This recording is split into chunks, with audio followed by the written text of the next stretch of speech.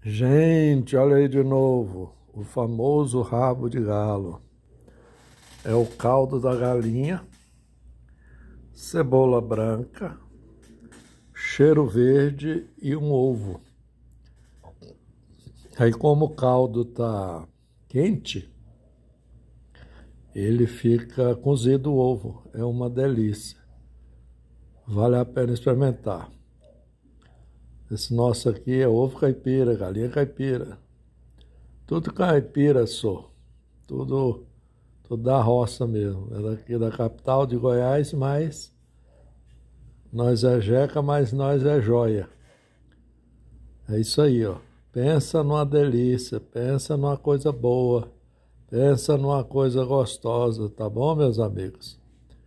Então ficam todos com Deus, que tenha fartura em sua casa, que tenha muita luz e muita alegria.